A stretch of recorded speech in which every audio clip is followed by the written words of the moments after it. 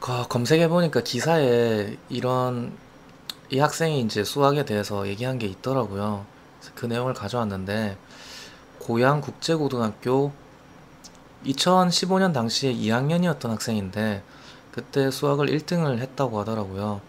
그래서 수학을 잘하는 비법을 좀 알려달라라고 인터뷰를 하니까 이런 얘기를 했어요. 간단하면서도 굉장히 중요한 방법인데 문제를 읽고 나서 연필을 놔두고 어떻게 풀지 머릿속으로 먼저 구상을 해보는 게 중요하다고 해요. 보통 머리보다 연필이 먼저 나가면 쉽게 풀 문제를 오히려 어렵게 푸는 경우가 생길 수 있거든요. 그래서 이 부분에 대해서 먼저 얘기 드리자면은 코딩도 마찬가지예요. 코딩 문제를 받아 들었을 때 바로 타이핑부터 하는 사람이 있거든요. 그런 분은 보통 타이핑 어느 정도 하다가 점점점 속도가 줄어들다가 멈춰요. 문제를 못 풀거든요, 그 뒤로. 잘 푸는 친구들 보면은 문제 받아들면은 문제 읽고 펜을 들고 먼저 어떻게 풀지 문제에 대해서 구상을 하거든요. 구상하고 완벽하게 그 방법이 떠오르면은 그걸 펜으로 정리를 한 다음에 그 다음 실제 타이핑은 얼마 안 걸려요. 타이핑은 어차피 정리된 생각을 옮기는 거 뿐이기 때문에 이거는 사실 실무에서도 마찬가지인 것 같아요. 큰 프로젝트 할 때도 설계에 시간을 많이 쏟고 나면 실제 구현은 단순 타이핑과 테스트일 뿐이거든요.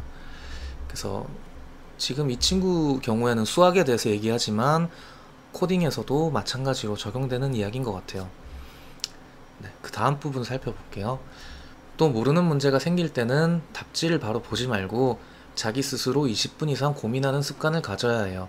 답지를 멀리해야 스스로 사고할 기회가 늘어나고 그래야 실력이 제대로 쌓여요.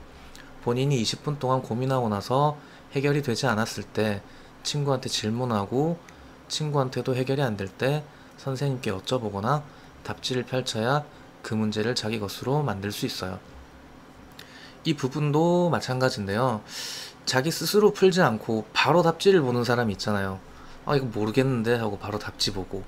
그러면은 결국은 답은 뭔지는 알았지만 시간이 지나버리면 그 답은 잊혀지거든요.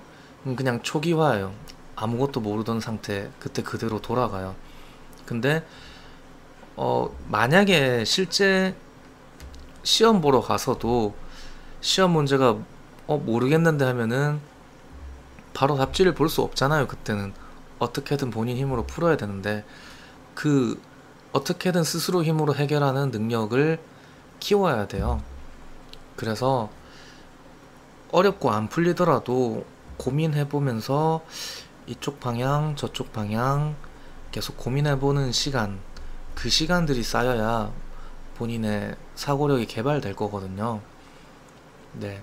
수학에서도 마찬가지고 코딩에서도 마찬가지인 것 같아요. 그리고 근데 이 고민하는 시간이 너무 길어지면 그것도 문제가 돼요. 본인 역량의 한계가 있는데 그 내에서만 뭐 하루 이틀 걸려서 한 문제만 붙잡고 계속 고민하면 안 되고 그거를 결국은 더 잘 아는 사람한테 가서 물어보는 건 필요해요, 나중에. 어느 정도 고민하고 물어보고 그 사람의 피드백 받아서 혼자서 다시 한번 풀어보고 그럼 이제 완벽하게 자기 있게 되는 거죠. 고민한 시간이 어느 정도 있을수록 그 결과 정답을 받아들였을 때 더 많이 흡수할 수 있어요. 더 오랫동안 기억에 남을 수 있고, 아, 이거였구나 하면서 깨달음이 더 강렬할 수 있는 거죠. 다음 부분 살펴볼게요. 마지막으로 오답 노트는 필수예요.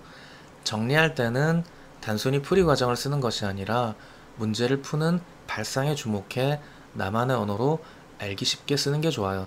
저는 이렇게 만든 오답 노트로 내신과 모의고사를 공부할 때 정말 많은 도움을 얻었어요.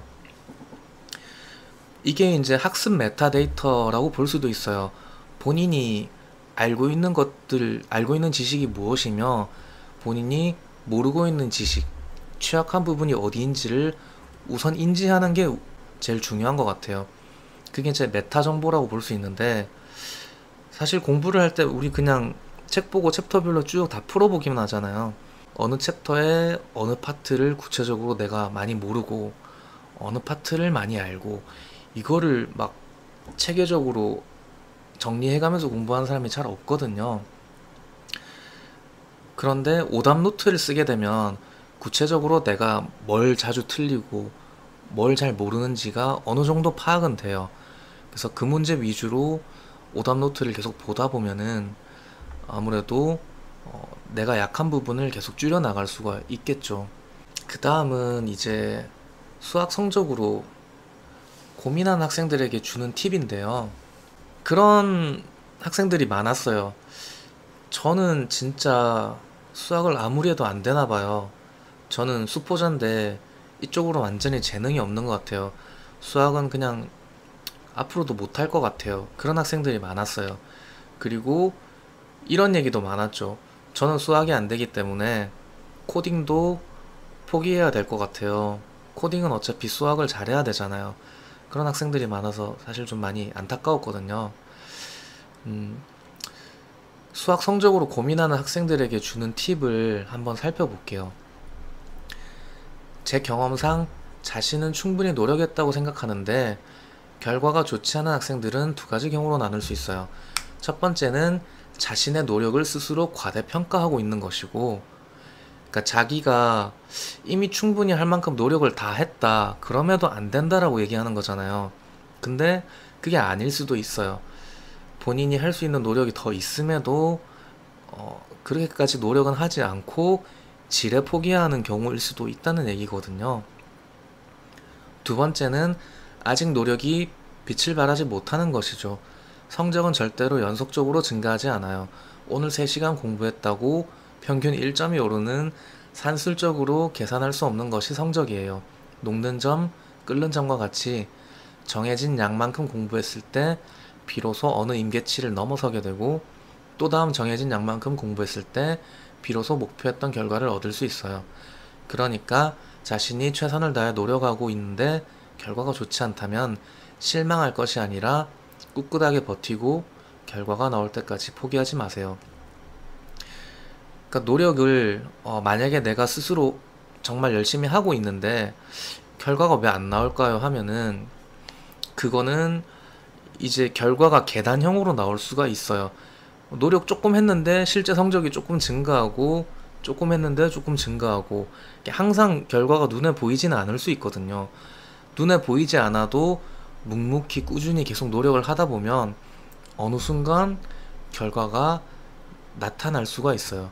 계단형으로 결과가 없다가 어느 순간 나타나고 또 없다가 어느 순간 나타나고 그럴 수 있기 때문에 걱정되고 마음이 힘들겠지만 묵묵히 최선을 다해서 꾸준하게 하는 거 그게 중요하다고 이야기를 하고 있어요. 그리고 끝으로 수학을 즐기는 방법은 간단하다. 처음부터 못하는 것을 즐기기는 어려우니 먼저 노력으로 자신의 강점으로 만든 다음 즐거운 마음을 가지고 수학 공부에 임하는 것이다. 라고 말했다. 그러니까 못하는 거를 즐기긴 좀 쉽지가 않아요. 결국은 잘하게 돼야 즐길 수 있는데 비유를 하자면은 뭐 게임 같은 걸 해도 게임 하는데 맨날 지잖아요. 그럼 스트레스 받고 재미가 없을 거예요. 근데 좀 이기고 이렇게 잘 되면은 재미있잖아요. 그것처럼 수학도 잘 해야지 즐길 수가 있는데 처음부터 잘할 수는 없으니까 결국은 처음에는 어, 재밌지는 않더라도 노력으로 먼저 잘하게 만든 다음에 그 다음엔 재미있게 수학 공부를 할 수 있을 것이다 라고 그런 이야기를 해주고 있네요. 결국 정리를 하자면은 당장 눈에 띄는 성과가 없더라도 열심히 꾸준히 노력을 하고 난 정말 할 만큼 노력을 다 했다라고 생각이 들어도 더 노력할 여지가 있을 수 있으니 꾸준하게 최선을 다하는 거 묵묵히 그게 제일 중요하다는 이야기네요. 제일 중요한 거 그거가 있어요 또 스스로가 어, 난 수학이 안 돼라고 먼저 비판적으로 생각하고 선을 그어버리면 그러면은 정말로 못하게 돼요. 그 믿음이라는 게 정말 중요하거든요. 나는 정말로 수학을 잘 할 수 있다. 재능이 있는데 아직 재능이 드러나지 않은 것 뿐이다. 라고 정말 믿으면은 나중에 노력하다 보면 어느 순간 그렇게 될 수가 있거든요. 근데 나는 재능이 없어 하는 사람이 과연 그만큼 노력을 할까요? 하지도 않고 지레 포기하거든요. 그러니까 스스로를 못한다라고 우선 한정 짓지 않아야 돼요. 할 수 있다는 믿음을 가지고 꾸준하게 꾸준하게 노력하면 어느 순간은 좋은 날이 올 거라고 생각이 들어요. 너무나 당연한 얘기지만 그게 절대 진리고 네. 이 이야기를 믿고서 꾸준히 노력하시는 게 유일한 방법이라고 생각이 드네요. 꾸준히 이렇게 노력하되 노력하는 디테일한 방법은 여기 앞장에서 보여드린 것처럼 문제를 받아들면 먼저 그 문제에 대해서 골똘히 생각을 하고 머릿속으로 구상을 하고 문제를 스스로 이렇게 풀어보는 시간을 가지고 정 안 풀리면은 그제서야 답안을 보거나 뭐 선생님이나 친구한테 물어보고 그리고 본인이 틀린 거는 오답 노트로 기록에 남겨서 반복적으로 살펴보고 이런 방식으로 학습을 해야 되고 이거를 꾸준히 오랫동안 하시면은 분명히 잘하게 되는 날이 올 거예요. 네, 준비된 내용은 여기까지예요. 근데 수학 얘기를 하긴 했는데 사실 코딩도 똑같아요. 이렇게 하시면은 잘하실 수 있을 거예요.